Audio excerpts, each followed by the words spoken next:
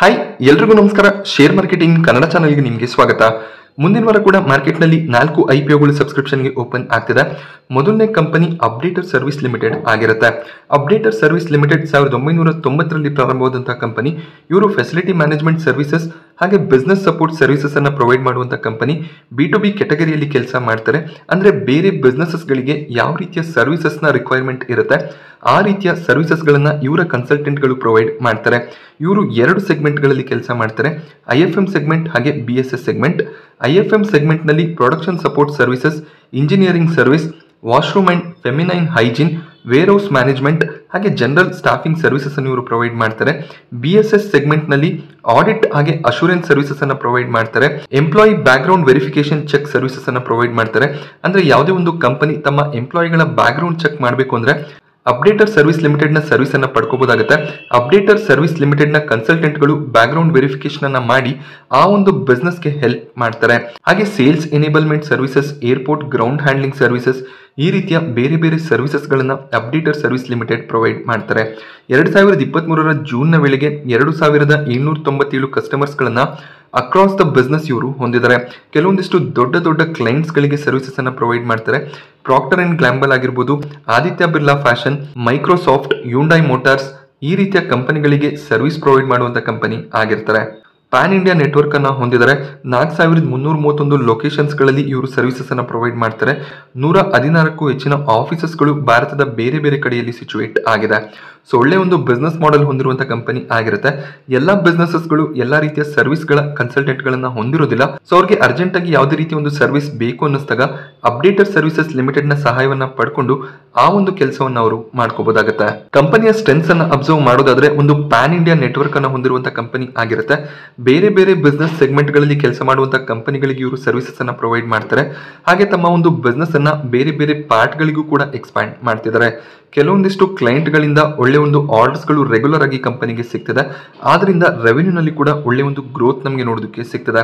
Successful track record ಅನ್ನು ಕೂಡ company ಹೊಂದಿದ್ದಾರೆ.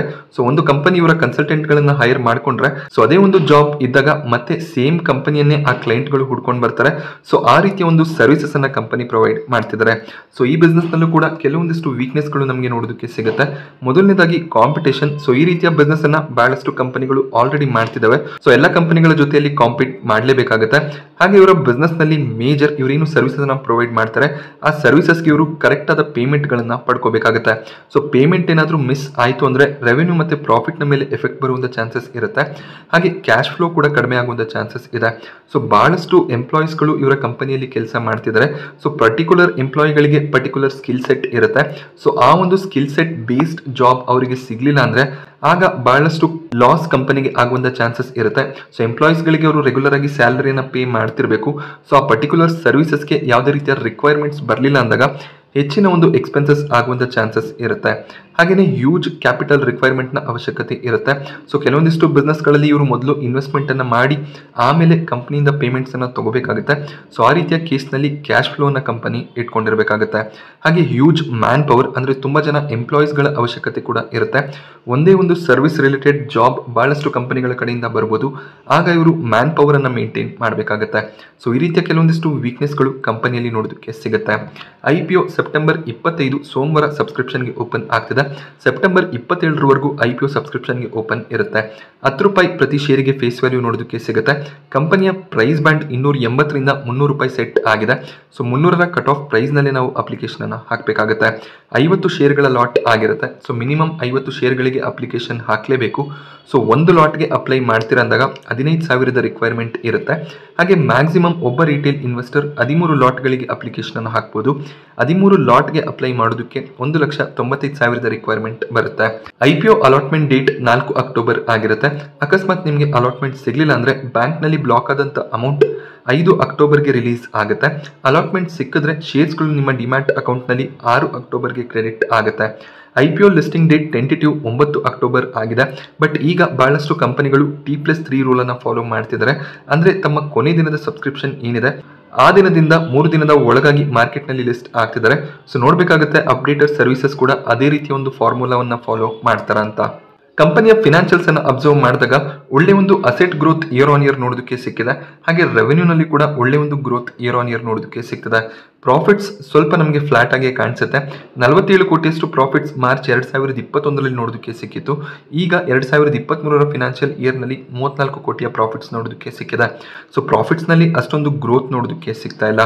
ಹಾಗೆ ನೆಟ್ವರ್ಕ್ನಲ್ಲೂ ಕೂಡ ಒಳ್ಳೆ ಒಂದು ಗ್ರೋತ್ ಇಯರ್ ಆನ್ ಇಯರ್ ನೋಡೋದಕ್ಕೆ ಸಿಕ್ಕಿದೆ. ಸೊ ರೆವೆನ್ಯೂಸ್ ಇನ್ಕ್ರೀಸ್ ಆಗ್ತಿದೆ. ಪ್ರಾಫಿಟ್ನಲ್ಲಿ ಹೆಚ್ಚಿನ ಒಂದು ಇನ್ಕ್ರೀಸ್ ನಮಗೆ ಇಯರ್ ಆನ್ ಇಯರ್ ನೋಡೋದಕ್ಕೆ ಸಿಗ್ತಿಲ್ಲ ಸೊ ನೋಡಬೇಕಾಗುತ್ತೆ ಎರಡು ಸಾವಿರದ ಇಪ್ಪತ್ನಾಲ್ಕರ ಫಿನಾನ್ಷಿಯಲ್ ಇಯರ್ನಲ್ಲಿ ಯಾವ ರೀತಿಯ ಪರ್ಫಾರ್ಮೆನ್ಸ್ ಬರುತ್ತೆ ಅಂತ.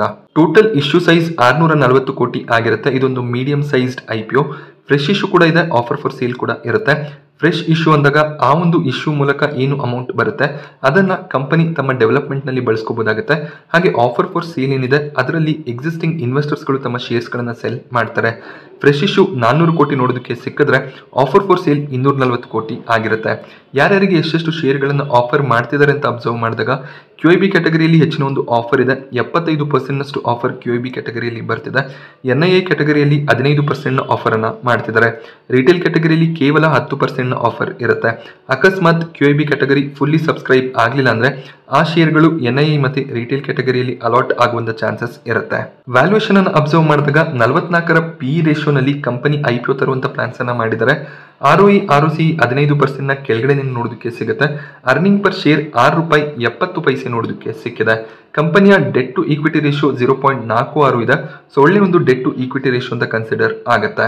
ಕಂಪನಿಯ ಕಾಂಪಿಟೇಟರ್ಸ್ ಅನ್ನ ಅಬ್ಸರ್ವ್ ಮಾಡಿದಾಗ Quess Corp limited S I limited Team Lease services limited ಇವರ ಕಾಂಪಿಟೇಟರ್ಸ್ ಆಗಿರ್ತಾರೆ. ಸೊ ಈ ಕಂಪನಿಗಳು ಅಪ್ಡೇಟರ್ ಸರ್ವಿಸಸ್ಗಿಂತ ಕಡಿಮೆ ಪಿ ನಲ್ಲಿ ಟ್ರೇಡ್ ಆಗ್ತಿದ್ದಾವೆ. ಸೊ ಎಲ್ಲ ಕಂಪನಿಗಳ ಪಿ ಅಪ್ಡೇಟರ್ ಸರ್ವಿಸಸ್ ಲಿಮಿಟೆಡ್ ಏನು ಐ ಪಿ ಒ ತರ್ತಿದ್ದಾರೆ. ಆ ಪಿ ಗಿಂತ ತುಂಬಾನೇ ಕಡಿಮೆ ಕಾಣಿಸುತ್ತೆ.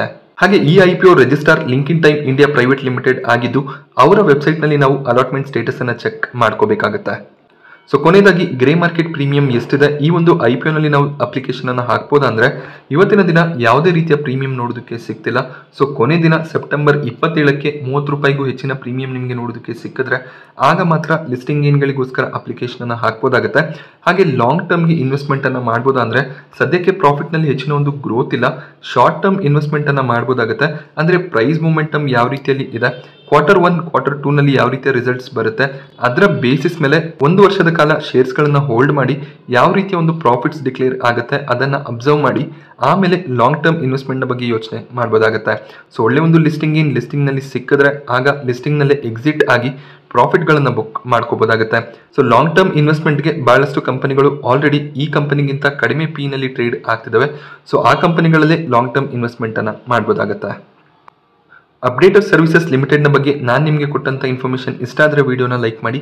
ಹಾಗೆ ಇದೇ ರೀತಿಯ ಮಾರ್ಕೆಟ್ ಅಪ್ಡೇಟ್ಸ್ ಮತ್ತು ಐ ಪಿ ಒ ರಿವ್ಯೂಸ್ಗೋಸ್ಕರ ಚಾನಲ್ನ ಸಬ್ಸ್ಕ್ರೈಬ್ ಮಾಡ್ಕೊಳ್ಳಿ. Thank you friends